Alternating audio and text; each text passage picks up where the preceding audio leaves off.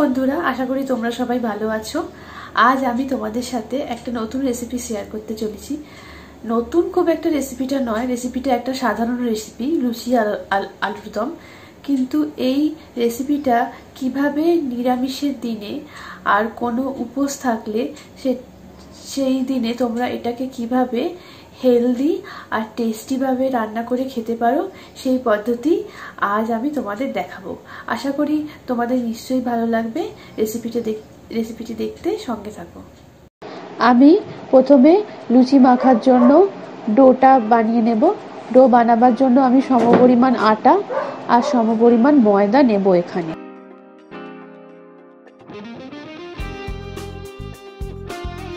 দেখুন, আমি যতটা আটা নিয়েছি, ঠিক ততটাই ময়দা নিচ্ছি। আটা বা ময়দার ভাগ কোনোটাই বেশি নিলে চলবে না। দুটোই অর্ধেক অর্ধেক নিতে হবে। এরপর আমি পরিমাণ মতো চিনি মিশিয়ে নেব।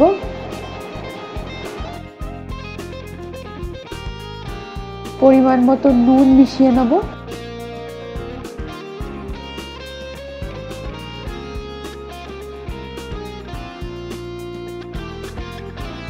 আর পরিমাণ মতো তেল মিশিয়ে নেব।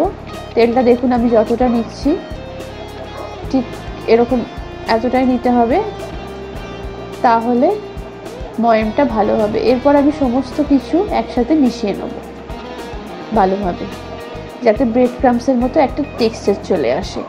তাহলে বোঝা যাবে যে ময়মটা আমার ঠিকঠাক পরিমাণ হয়েছে, আটা আটা ময়দা মেশানো ডোটটা ঠিক ঠিক হবে একদম। এরপর আমি গরম জল দিয়ে আটা ময়দার ডোটা ভালোভাবে মেখে নেব। এই আটা ময়দার ডো খুবই হেলদি। এর ফলে ময়দা খেলে, যাদের শুধু ময়দা খেলে কনস্টিপেশন হয়, তারা এই আটা ময়দা দুটো একসাথে মিশিয়ে লুচি করতে পারে। আমার ডোটা এখানে মাখা হয়ে গেছে। আর একটু তেল দিয়ে আমি ভালোভাবে ঠেসে ঠেসে মেখে নেব। ডোটা ভালোভাবে ঠেসে ঠেসে মাখতে হবে। না হলে লুচিটা ভালো নরম হবে না। এইভাবে আমি ঠেসে ঠেসে মেখে নেব।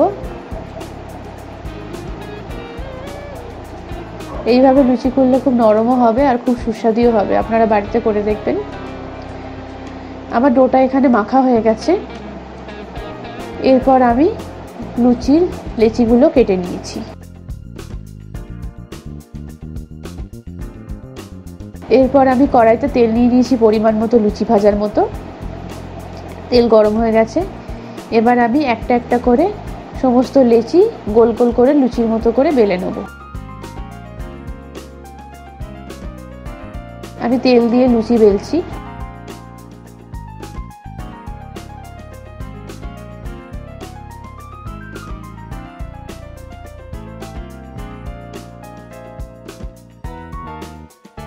এরপর লুচিটা আমি ছেড়ে দিলাম কড়াতে। দেখুন কি সুন্দর ফুলে উঠছে। এইভাবে লুচিটা এরকমভাবে ভাজতে হবে। একটু লাল আসবে আটা মেশানোর জন্য, কিন্তু লুচিটা খুবই নরম আর খুব সুস্বাদু, খুব হেলদি হবে। আর টেস্টও খুব ভালো আসবে। এইভাবে ছেঁকে লুচিটা একটা হাঁড়ির মধ্যে টিস্যু পেপার রেখে দিয়েছি। আমি লুচিটা এইভাবে নামিয়ে নিলাম। এরপর সমস্ত লেচিগুলো আমি এইভাবে ভেজে নেব। দেখুন, প্রত্যেকটা লেচি খুব সুন্দরভাবে ফুলছে।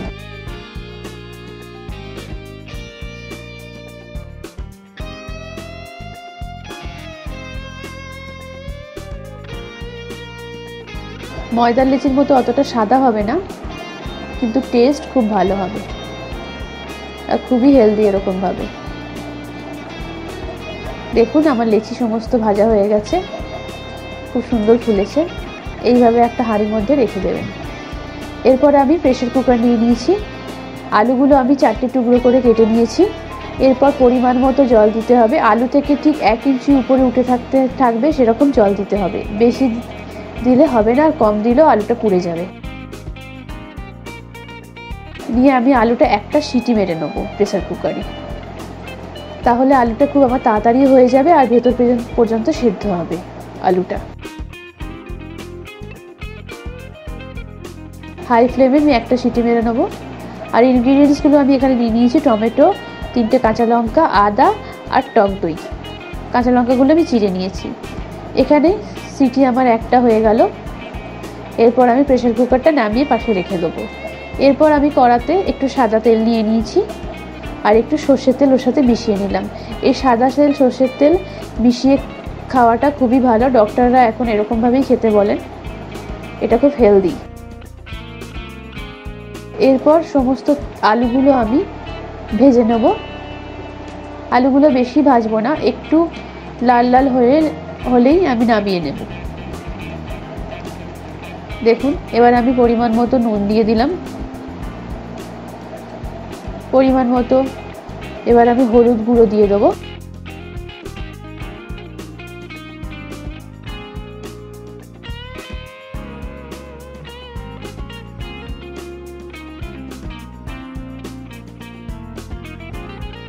এবার আস্তে আস্তে আমি নেড়ে চেড়ে খুন্তি দিয়ে আলুগুলো ভেজে নেব।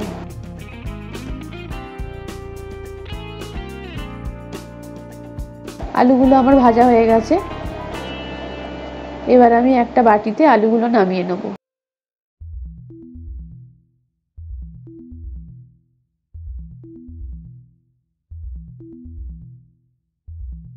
আলু, আলুগুলো অলরেডি অনেকটাই সিদ্ধ হয়ে গেছে। প্রথমে সিটি মারার ফলে আর তারপরে ভাজার ফলে অনেকটাই সেদ্ধ হয়ে গেছে। দেখুন, আলুগুলো আমার এরকম দেখতে লাগছে।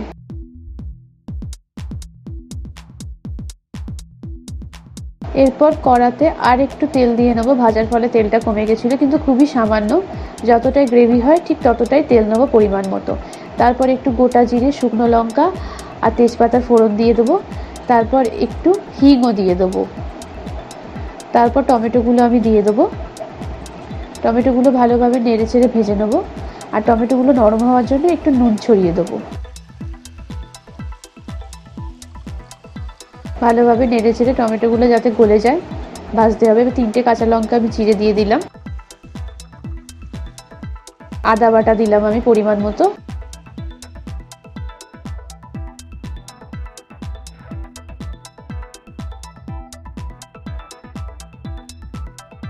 টমেটোগুলো এইভাবে ভালোভাবে নেড়ে চেড়ে ভাজতে হবে যাতে ভালোভাবে গলে যায়।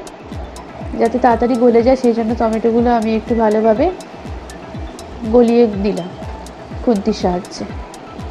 এরপর আমি হলুদ গুঁড়ো দিয়ে দেবো তেলের মধ্যে। কাশ্মীরি লঙ্কার গুঁড়ো দিয়ে দিলাম এখানে আমি রঙের জন্য। আর এখানে আমি দিয়েছি জিরের গুঁড়ো পরিমাণ মতো। তারপর আমি চিনি দেবো। চিনিটা একটু বেশি দেবো পরিমাণের থেকে। তার কারণ এখানে আমি টক দই দেবো। টক দই দিলে চিনিটা একটু বেশি লাগে। এরপর আমি জল ঢেলে দেবো, মশলাটা কষাবো। এই সামান্য একটু জল দিয়ে তাহলে মশলাটা আমার পুড়ে যাবে না। আঁচটা আমি হাই করে দিয়েছি। দিয়ে জলটা ভালোভাবে ফুটতে দেবো। খুবই সামান্য জল দেবেন যাতে মশলাটা ফোটে। দেখুন, মশলাটা আমার ফুটে গেছে, তাহলে মশলার কাঁচা গন্ধটা আর থাকবে না। এবার আমি পরিমাণ মতো টক দই দিয়ে দেবো। এখানে আমি দু চামচ টক দই দিয়েছি। টক দইটা আগে থেকে ফেটিয়ে রাখলে ভালো হতো, কিন্তু তাড়াহুড়োর জন্য আমার ফেটানো হয়নি। আমি এইভাবে দিয়ে ওর মধ্যেই ভালোভাবে নেড়ে ছেড়ে মিশিয়ে নিচ্ছি। আর খেয়াল রাখবেন, টক দই মেশাবার সময় গ্যাস, গ্যাসের ফ্লেমটা একদম সিম করে দেবেন মানে একদম লো করে দেবেন। তাতে টক দইটা আপনার ছানার মতো হয়ে যাবে না। ভালোভাবে মিশে যাবে আর খুন্তি দিয়ে ভালোভাবে মিশিয়ে নেবেন। এরপর আলুগুলো দেবেন, দিয়ে আঁচটা হাই করে দেবেন, কি মিডিয়াম, মিডিয়ামও রাখতে পারেন আঁচটা, দিয়ে আলু, আলুগুলো ভালোভাবে গ্রেভির সাথে এরকমভাবে মিশিয়ে নেবেন। আলুগুলো অলরেডি আমার অনেকটাই সেদ্ধ হয়ে গেছে। আমি আর আলুগুলো একটু সামান্যই কষাবো। কষিয়ে একটু জল গরম করতে দিয়ে দিয়েছি। জলও আমি খুব অল্প পরিমাণ দিয়েছি, যতটা আমি গ্রেভি রাখব বেশি ফোটাবো না আলুগুলো।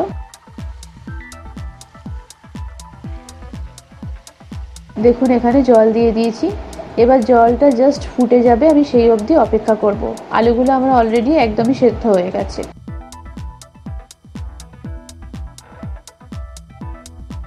বেশি সেদ্ধ করলে আলু গলে যাবে। আমি টিপে দেখে নিলাম, আলুগুলো একদমই সেদ্ধ হয়ে গেছে ভিতর পর্যন্ত।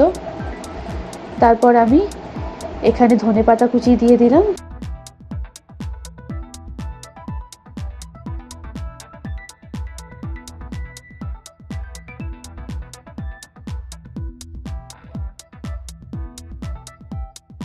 এরপর আমি আর একটু নুন দিয়ে দিলাম আর একটু চিনি দিয়ে দিলাম আর একটু ঘি ছড়িয়ে দিলাম, এক চামচের মতো। নামাবার আগে নুন আর চিনিটা অবশ্যই আপনাদের স্বাদ মতো দেবেন। আর ছোট চামচের হাফ চামচ এখানে গরম মশলা দিয়ে দিলাম। ভালোভাবে ঘি গরম মশলাগুলো এবার আমি মিশিয়ে নেব।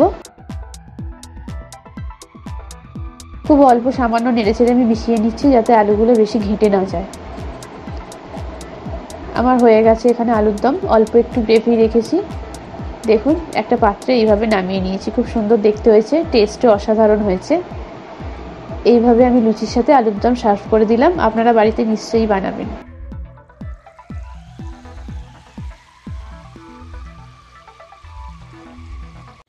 বন্ধুরা, আশা করি নিশ্চয়ই তোমাদের এই রেসিপিটা ভালো লেগেছে। এই রেসিপিটা একটি কমন রেসিপি কিন্তু আমি যেরকমভাবে তৈরি করেছি, সেই রেসিপিটা তোমাদের নিরামিষের দিনে আর উপসে নিশ্চয়ই ভালো লাগবে। এটা একটি অতি সুস্বাদু আর হেলদি রেসিপি এই রেসিপিটা তোমরা খেও আর আমাকে কমেন্ট বক্সে অবশ্যই কিন্তু জানাবে যে রেসিপিটা তোমাদের কেমন লাগল। আর যদি পারো, ভিডিওটা একটা লাইক শেয়ার করো। আর অতি অবশ্যই সাবস্ক্রাইব করো। আর পাশে থাকা বেল বাটনটা অবশ্যই প্রেস করো for more videos notification thank you